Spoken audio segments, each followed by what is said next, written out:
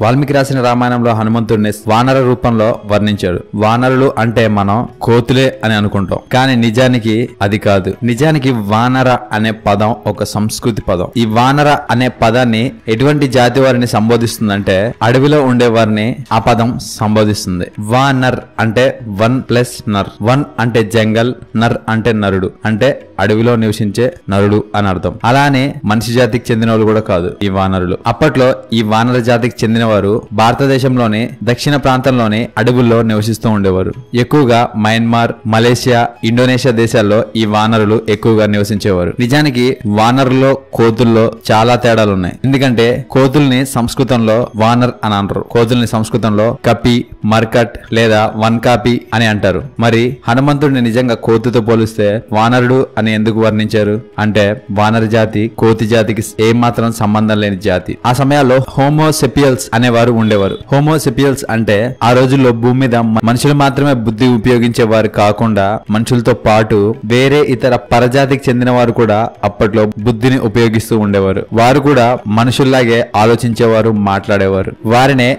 నియండర్తల్స్ అని అంటారు. ఆ నియండర్తల్ జాతికి చెందినవాడే హనుమంతుడు. అంటే ఈ నియండర్తల్సే వానర జాతికి చెందినవారు. ఈ నియండర్తల్ వ్యక్తులు చూడడానికి కోతుల్లా ఉంటారు. కానీ మనుషుల్లాగే ఆలోచిస్తారు. అంతేకాకుండా మనుషులు కన్నా ఎక్కువగా బలంగా ఉంటారు. అంతేకాకుండా వారు మాట్లాడేవారు అలాగే మనుషుల్లాగే ఒకే ప్రాంతంలో నివసిస్తూ ఉండేవారు కూడా. రామాయణంలో వానరుల్ని వర్ణించిన విధానం నియండర్తల్ యొక్క శరీరాలకు అలాగే బుద్ధికి దగ్గర దగ్గరగా మ్యాచ్ అయ్యాయి. పురావస్తు శాస్త్రవేత్తలకు నియండర్తల్ మనుషుల యొక్క అవశేషాలు యూరోప్ ఆఫ్రికా అలాగే పశ్చిమ ఆసియా ఖండంలో వారు ఉన్నట్లు గుర్తించారు. రామాయణం ప్రకారం వానరులు మొత్తం భూమి అంతా నిండి ఉన్నట్లు వర్ణించారు. కానీ నిజానికి వానరుల యొక్క ఎక్కువ సమూహం కిష్కిందాలో ఉండేదని సైంటిస్టులు కనుగొన్నారు. శ్రీరాముడు రావణుడిని ఎదుర్కోవడానికి లంకకు బయలుదేరినప్పుడు వానరుల రాజైన సుగ్రీవుడు తమ యొక్క వానర సైన్యాన్ని రాముడికి సహాయపడమని చెప్పాడు. కిష్కిందాలో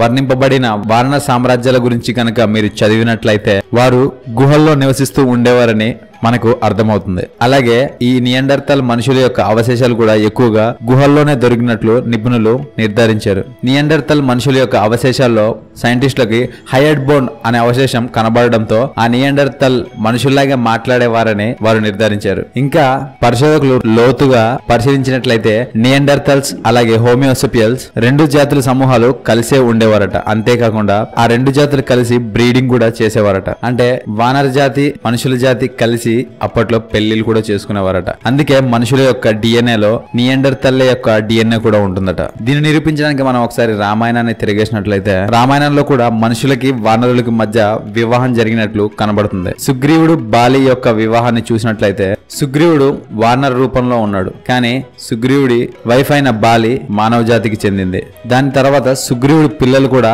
మనిషి రూపంలోనే జన్మించారు. దాన్ని బట్టి ఒకవేళ వానరులు మనుషులతో సంభోగిస్తే పుడితే మనుషులైనా పుట్టాలి లేకపోతే కోతులైనా పుట్టాలి. కానీ కోతుల పుట్టలేదు కాబట్టి వారు ఖచ్చితంగా వానర జాతికి చెందిన వారని మనం నిర్ధారించుకోవాలి. రామాయణంలో వానరులని కోతి రూపంలో ఉన్నట్లు ఎక్కడా చెప్పలేదు. వాల్మీకి రామాయణంలో హనుమంతుడి గురించి వర్ణించారు. హనుమంతుడు ఋగ్వేద్ యజుర్వేద్ సామవేదాలలో విద్వాంసుడు. అంతేకాకుండా సంస్కృతం వ్యాకరణాన్ని కూడా బాగా తెలిసినవాడు. మరి హనుమంతుడికి ఇంత యోగ్యత కలిగి ఉంటే అతడు కోతి ఎలా అయ్యాడు? రామాయణంలో వానర జాతి కూడా మనుషుల జాతిలాగే బుద్ధి దయ ప్రేమ ఆగ్రహం కోపం అన్ని ఉన్నట్లు చూపించారు. కోతులైతే అజ్ఞానంగా ఉంటాయి. మరి వానర జాతి వాళ్ళు మనుషుల్లాగానే ఆలోచించి అజ్ఞానుల వల్లే లేరు. ఇప్పటి సైంటిస్టులు రామాయణ మహాభారతాన్ని కల్పితం అని నమ్ముతారు. ఎందుకంటే రామాయణం మహాభారతంలో కొన్ని కొన్ని యుద్ధాల్లో వాళ్ళు చేసిన పనులు మానవులు చేయలేని విధంగా ఉన్నాయి. కానీ మన సైంటిస్టుల యొక్క థియరీ ఆఫ్ ఎవల్యూషన్ ప్రకారం భూమి మీద మనుషులే అత్యంత శ్రేష్టవంతులని వారు నిర్ధారించారు.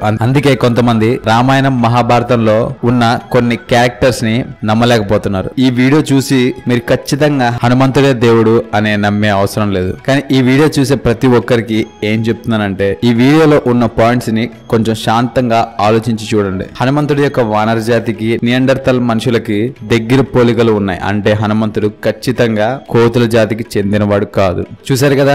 వానర జాతికి చెందిన హనుమంతుడు మనుషుల యొక్క జాత లేదా కోతి యొక్క జాత లేదా ఇతర వేరే జాత అనే విషయం గురించి గురించి మీకు తెలియని కొన్ని ఆసక్తికరమైన విషయాలు ఈ వీడియోలో. ఈ వీడియో కనుక మీకు నచ్చినట్లయితే లైక్ చేయండి షేర్ చేయండి. హనుమంతుడు ఏ జాతికి చెందినవాడో అని మీకు అనిపిస్తే దాన్ని కమెంట్ రూపంలో పెట్టండి. Thank you for watching